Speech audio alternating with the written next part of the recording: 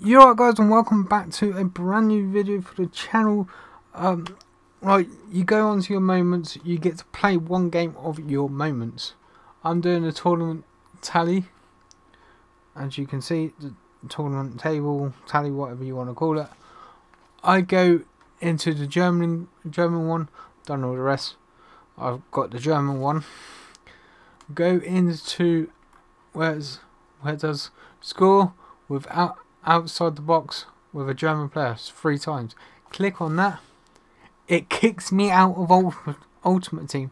If you get this, let me know in the comment section below. Don't forget to leave a like, comment, and subscribe to the channel if you're brand new around here. I'll catch